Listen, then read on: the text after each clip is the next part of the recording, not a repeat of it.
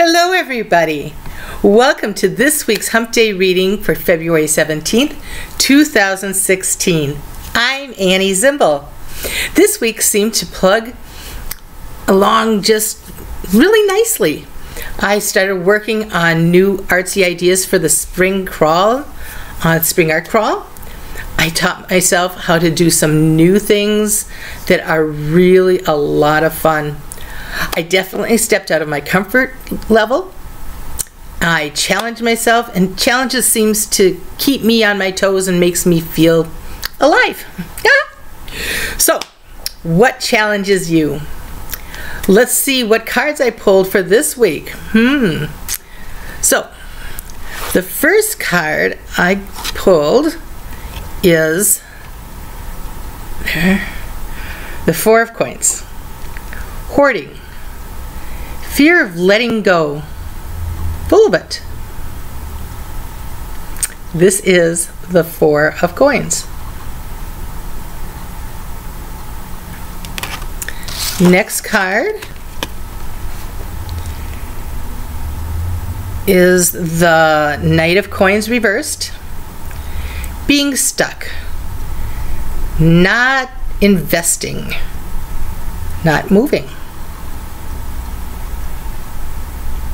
This is the Knight of Coins reversed. And then finally, we have the Two of Swords. Building on ideas, signing contracts, communicating with others, sharing ideas, writing. This is the Two of Swords. So, this summary. It feels that things are being held back and maybe not shared. It feels to me that there is a fear attached to this. It keeps you from moving forward at first, maybe making you feel stuck, or you are consciously holding back so that you do not have to move. Still, you start to speak and you share your ideas that give way to what you truly want and desire.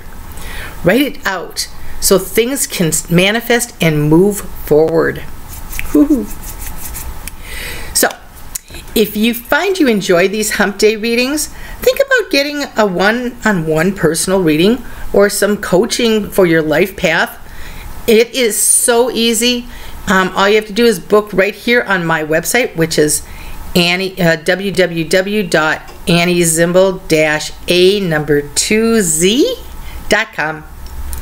I also do tarot and tea leaf readings at parties. If you refer me for a party and they book me, I want to thank you by gifting you with a $25 off your next personal tarot reading. Have a super grand rest of the week. Bless, practice blessings. I'm Annie Zimbel.